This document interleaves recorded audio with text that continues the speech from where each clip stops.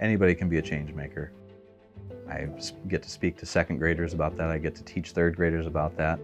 And, you know, get to do that every day working with veterans.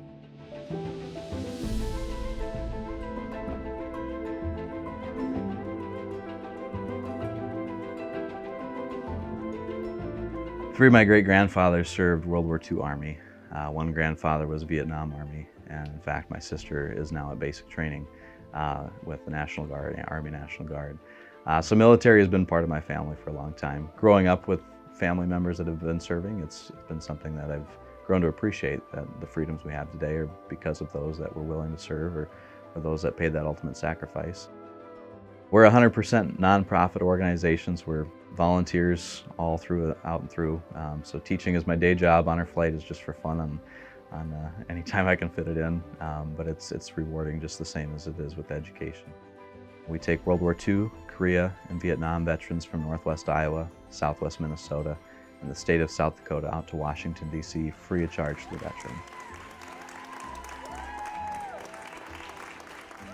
During that time, they get to see changing the guard at Arlington. They get to see all the war memorials. They get to see the Air Force, the Iwo Jima Navy memorials, downtown bus tours of everything going on there. It's a whirlwind of a day, but it's a day of honor.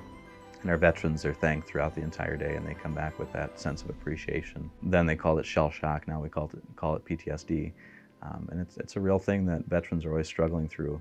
Our goal in Honor Flight is to be able to at least try to bring that healing, that closure. When they see those memorials, they can see my service matters. My service isn't going to be forgotten.